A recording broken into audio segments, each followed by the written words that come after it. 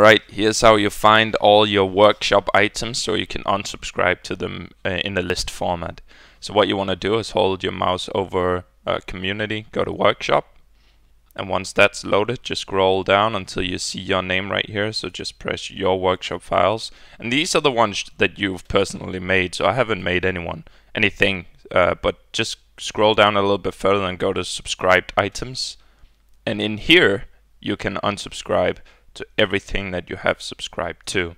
So you'll see a long list of everything you have. So uh, yeah, that's it. Right here you can unsubscribe to it. Thanks.